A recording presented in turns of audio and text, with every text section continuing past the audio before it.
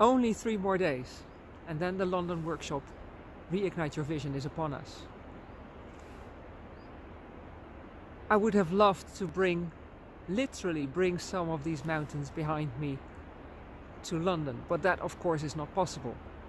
I would have loved to bring you on an adventure here in the mountains. But since that is not possible, I'm taking you on a one day adventure in Richmond Park, which is the closest thing that I could find to true nature in the middle of a big metropolis like London City.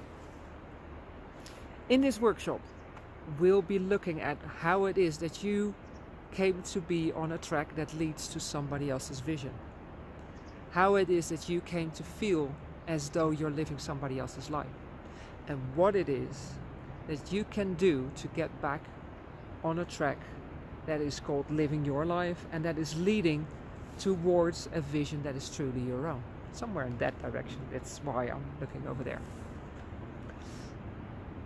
I like to compare a vision to a mountain summit you have envisioned it you have this you have seen this map in your head and you've picked the spot you've picked the spot where your vision is you know it's there you have no idea whether you're you'll be able to actually reach it but you're sure as hell are going to try. So when you find yourself moving in a completely different direction you have to correct course and that is what this workshop is all about. So join me for a one day adventure in London, in Richmond Park, and find out what it is that you can do when you leave behind the daily grind and clear your mind.